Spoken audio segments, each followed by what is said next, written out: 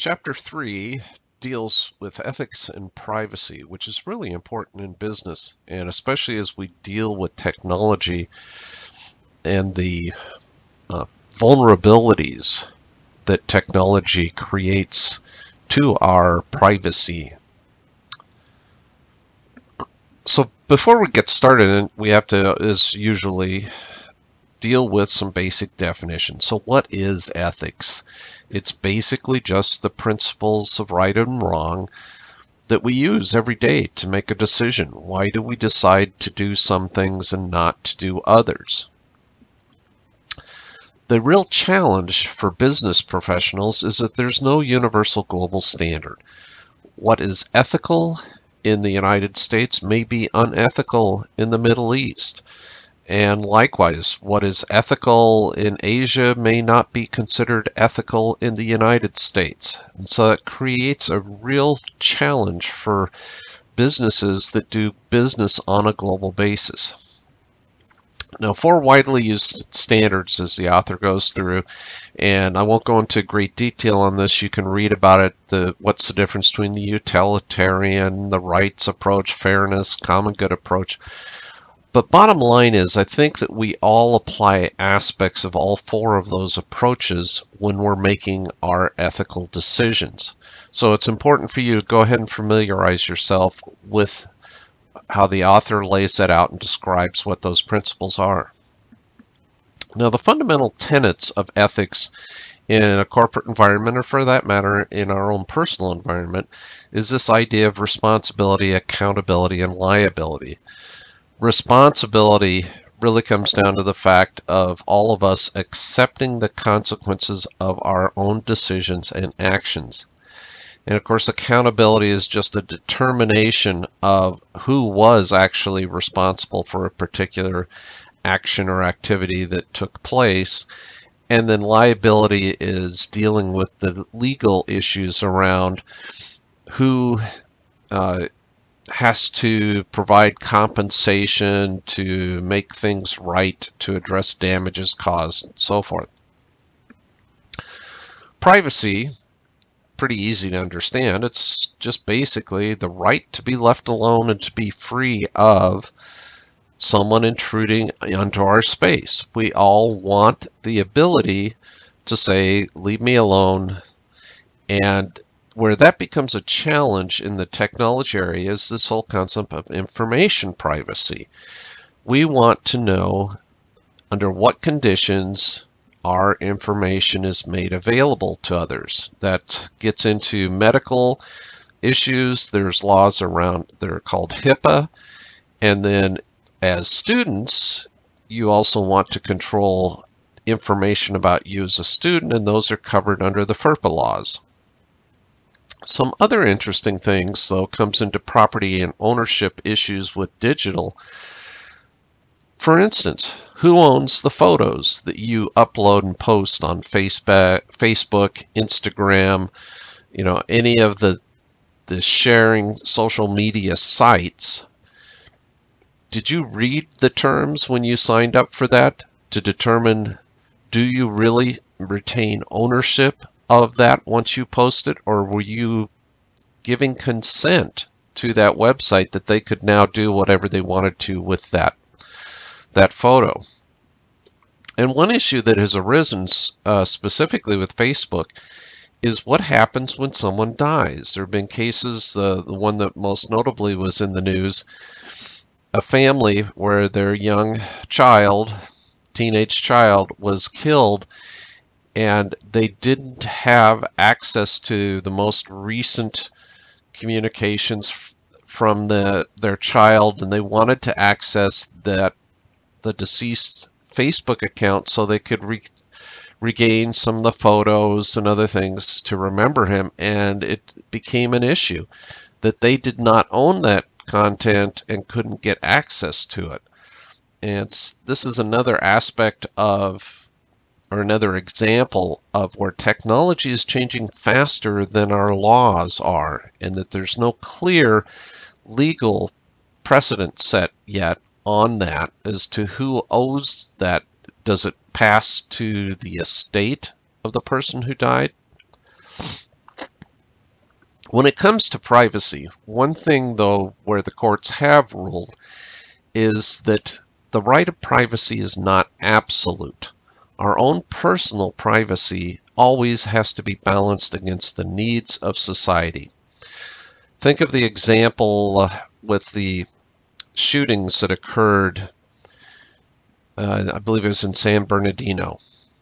And the FBI wanted to hack into the cell phone of the individuals that that did that, uh, you know, create uh, committed that crime to find out if there were others in relationship with them that might be planning similar attacks. And so their right to have privacy of their phone calls and email was overridden by the needs of society to you know to look into that criminal activity. It granted it's a dangerous precedent. Where do you draw the line? And it's a challenge that the courts are setting precedent, but in general, there is consensus that your right to privacy is not absolute, and it's up to the courts to determine is the benefit to society more than your benefit to privacy. Another term you'll hear talked about is profiling, and profiling is not always a bad thing. Profiling is just creating a digital description of someone. This can be your purchasing habits, your conversations. It's just creating a description of you. And there's uh, certainly Facebook, Amazon, there are a lot of companies that use that information to better tailor your experience online. So it's not necessarily a bad thing, but like anything, it can be abused. And here the author gives this concept of digital data aggregators. These are organizations that gather all that publicly available information and publish it. And those are some of the ones on there. One of the common ones is street addresses. And as we'll talk about in the data management software, one thing you can do is to take all of your customer uh, address information and compare it to the post office's address information to identify any possible typos that were created so you can identify anything that needs to be corrected. And so that's just an example of a data aggregator where they pull together readily available information and make it available for others to use to help them in their business activities. A lot in the news we get more and more about this electronic surveillance, the ability of monitoring people who are doing nothing wrong and are not under suspicion of doing anything wrong, but just going about their day to day routine activities. This is conducted by employers, governments, all kinds of different organizations are routinely just monitoring what's going on. Think about when you go into a shopping uh, mall, go into a store, look up at the ceiling, you see those video cameras that are just watching, just to be sure that nothing is going on.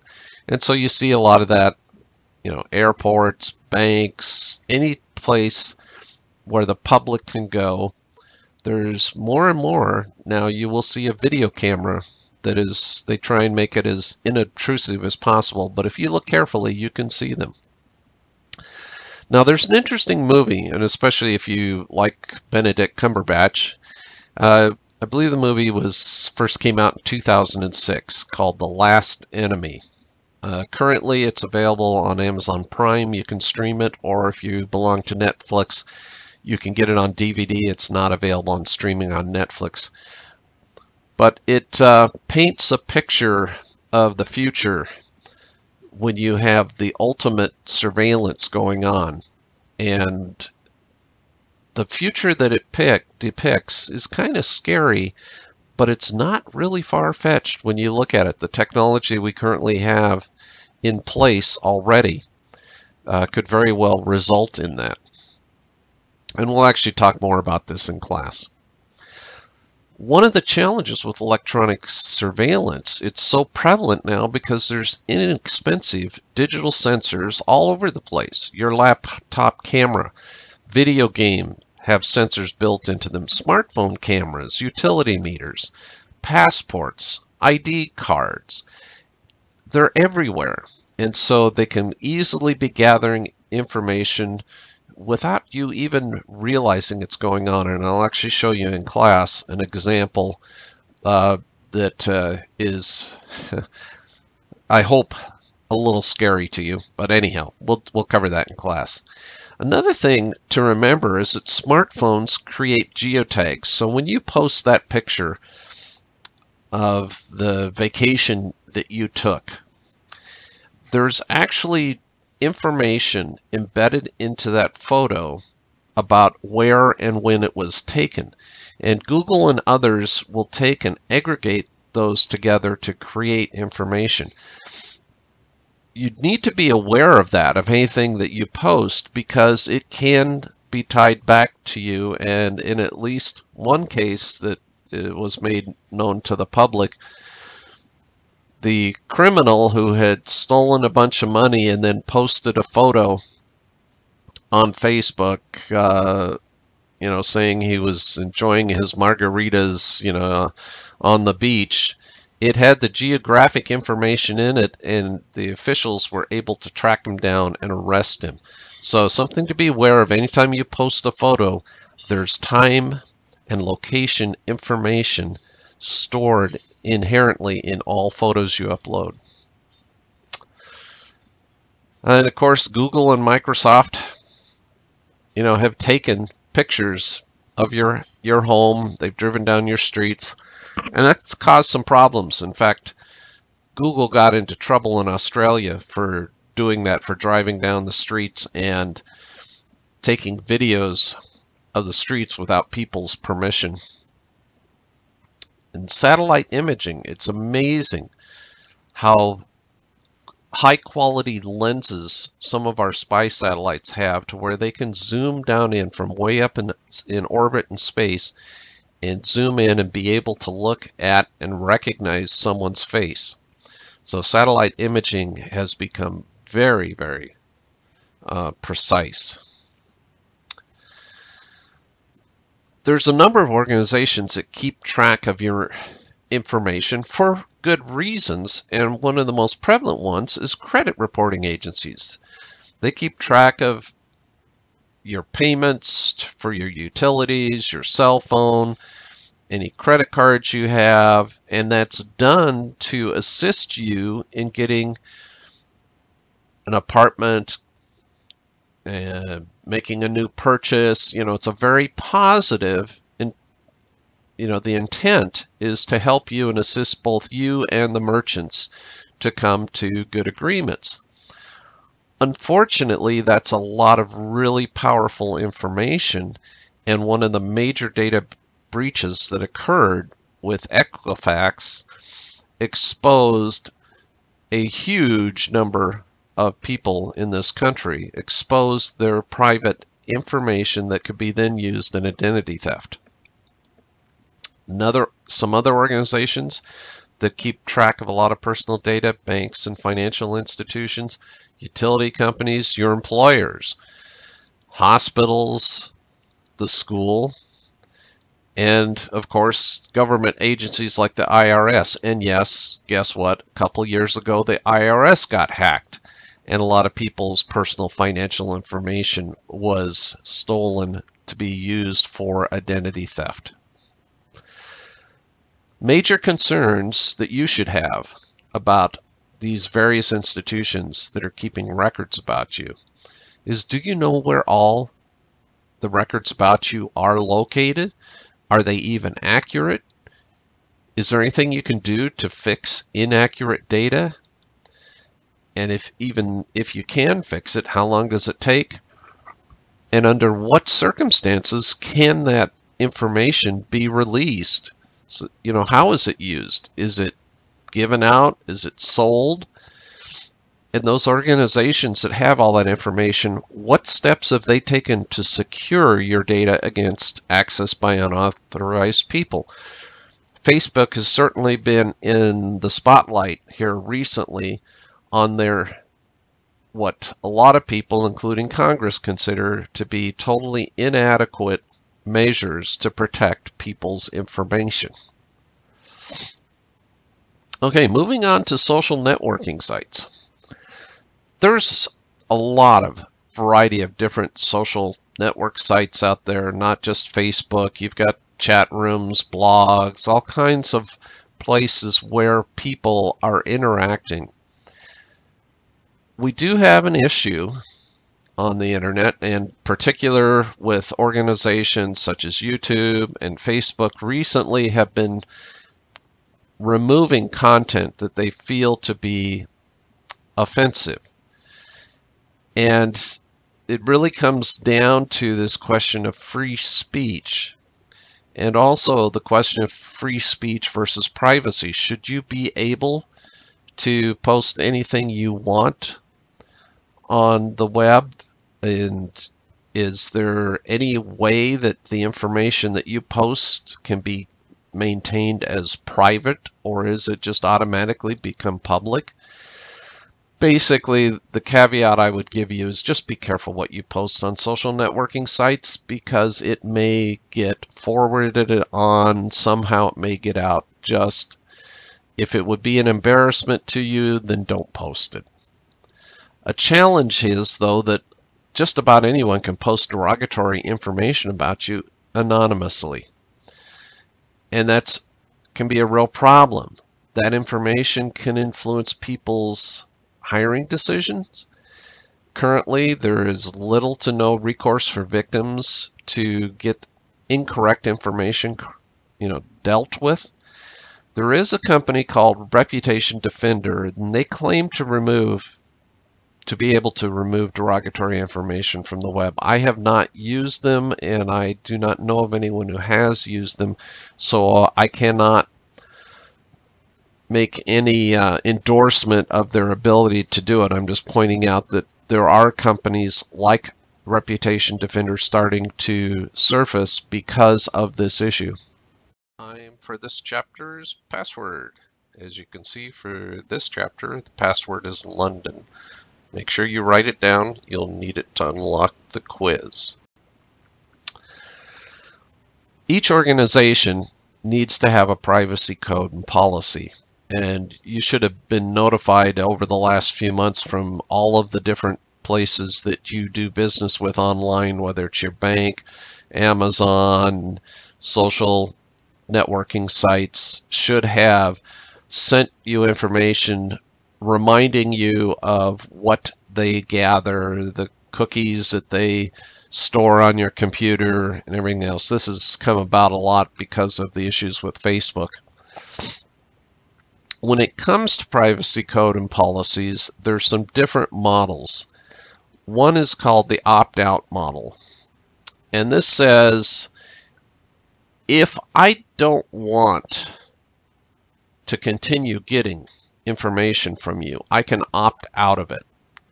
So even though I didn't request that you send me your newsletters, I can always tell you stop. And so that's the opt-out model. Opt-in is different. Opt-in means that that organization cannot send you unsolicited information. You have to request it so you have to opt into it. Now, that seems like a better way than opt out. You know, I have to first request it and not, uh, you can't just send me stuff and then I have to take the action to get you to stop. But what people prefer, and as organizations I strongly recommend, is called the double opt in model. And what this means is that once I make a request and say, yes, please send me stuff, they will then contact me, the organization, and say, we got a request that you want to receive this. Is that correct and valid? And so I have to confirm that yes, in fact, I did ask for that, and yes, I still want to get that. One of the reasons that this came about is that it was really easy if you were mad at somebody and you knew their email address, you could go to a site and just say, yeah, please send all this information to this email address. And all of a sudden, the person you're mad at is getting flooded by, you know, a bunch of spam emails. With the double opt in model, before you started getting them, they would contact you and say, hey, do you want to get this? And you could say, no, I didn't ask for that. Don't do it. So the double opt-in model is preferred. Privacy on an international basis. Uh, just like with as said in the beginning, there is no universal standard for ethics on a global basis. That really plays over too to privacy with you know, with the global nature that we have is what are the privacy rules from country to country and how do you how do you manage that? There are a number of organizations that are trying to get a handle on that. One, the U.S. has uh, information practices standards. The European Directive on Data Privacy has, you know, been developed. And so there's approximately 50 countries that have some sort of data protection laws. That's not everyone, though. There's a number of countries that have nothing. But even amongst the ones that do have it, it's inconsistent as to what the standards are from country to country. So, as a business doing business in multiple countries, the challenge we have is trying to be following and adhering to the protection laws in each country, it's a major thing to manage. And certainly big companies like Google and Facebook, they have not done a very good job necessarily of following the standards in each country. And so with that, that's chapter 3, Ethics and Privacy. There's a lot more information in the textbook, Make sure you read it thoroughly and look forward to talking about this topic with you more in class.